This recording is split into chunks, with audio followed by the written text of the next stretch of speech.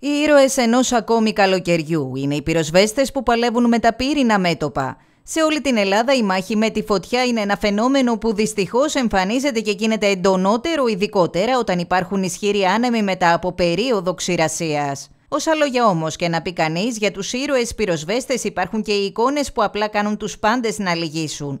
Όπως αυτή, ενός πυροσβέστη στον Εύρο, ο οποίος μετά από πολύ ωρή μάχη με τις φλόγες Αποκαμωμένος έχει πέσει στη γη και κοιμάται για ελάχιστες στιγμές, μέχρι να σημάνει ξανά συναγερμός και να ρηχτεί στα μέτωπα.